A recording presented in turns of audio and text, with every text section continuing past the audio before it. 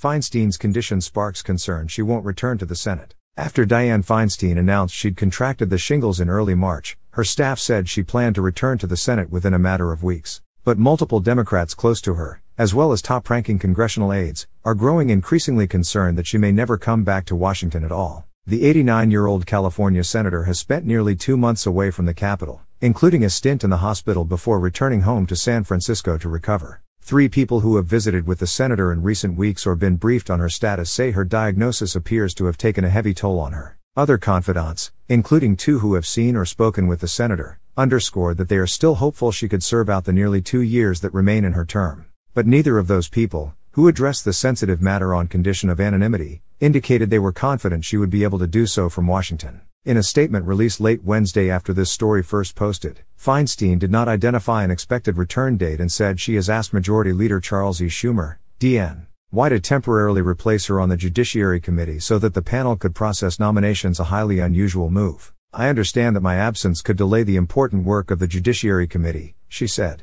The California Democrat said she planned to return to Washington as soon as possible once my medical team advises that it's safe for me to travel, and reiterated that she would work from home in San Francisco. When I was first diagnosed with shingles, I expected to return by the end of the March work period. Unfortunately, my return to Washington has been delayed due to continued complications related to my diagnosis, she said. A spokesman for Schumer released a statement shortly thereafter saying that he would ask the Senate next week to allow another Democratic senator to temporarily serve on the Judiciary Committee.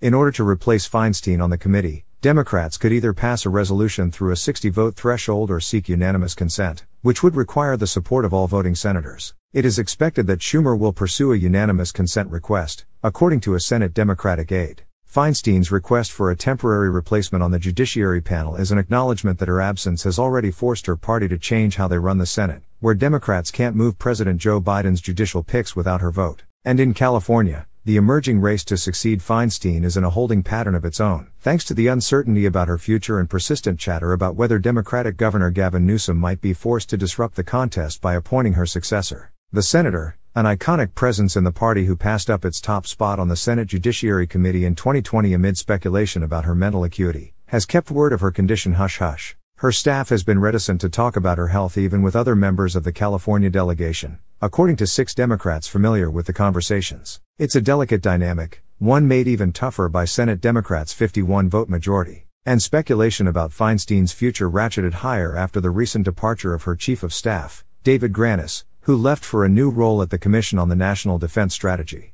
James Sauls, a longtime aide on the Senate Intelligence Committee, has stepped into the Chief of Staff role, according to Russell. While her illness has kept Feinstein from voting in the Judiciary panel to approve Biden's nominees for the federal bench, effectively stalling those confirmations for now, it's also being felt on the Senate floor. The California Democrat has missed nearly 60 votes since her shingles diagnosis in mid February. That lengthy absence has strained Democrats' 51 to 49 majority in the chamber, with Senator John Fetterman, DPA also absent for weeks while in treatment for depression. Vice President Kamala Harris has broken several ties to confirm judicial nominees on the floor, but committee action has been postponed on multiple nominations in her absence. There are currently 14 pending judicial nominees who have had hearings but have not gotten a vote in committee. I'm anxious, because I can't really have a markup of new judge nominees until she's there, said Senator Dick Durbin, DL, the party's number two and the Senate Judiciary Committee chair told Politico late last month. Durbin took the top Democratic spot on the panel in late 2020 after Feinstein ceded it following a firestorm of liberal fury with her cordial treatment of the GOP and then Supreme Court nominee Amy Coney Barrett. Since then,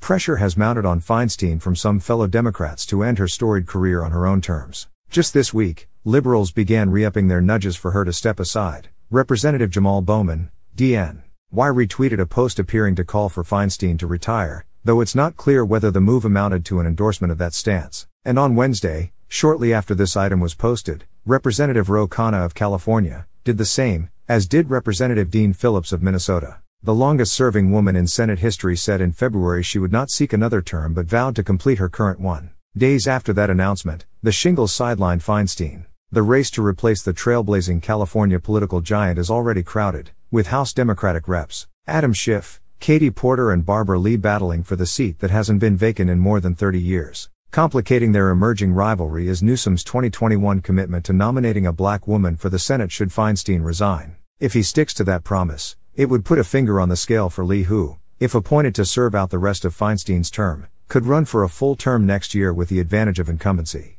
California is one of the 36 states that allow the governor to appoint a senator to hold the seat until the next regularly scheduled statewide election. However, should an appointment happen too close to March 2024, experts said the Senate election could not be consolidated with the primary. Nicholas Wu, Sarah Ferris, and Daniela Diaz contributed to this report. I have an enormous amount of respect for Senator Dianne Feinstein. She has had an extraordinary career in public service. She's been an icon on issues of gun violence and women's rights. Uh, but it has become painfully obvious to many of us in California that she is no longer able to fulfill her duties. Uh, she doesn't have a clear return date.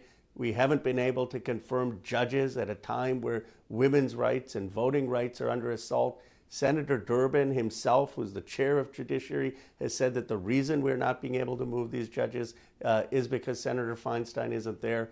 And so, as someone from California, I felt an obligation to say what so many colleagues are saying in private that the time has come for her to gracefully step down and have a dignified end to a very distinguished political career.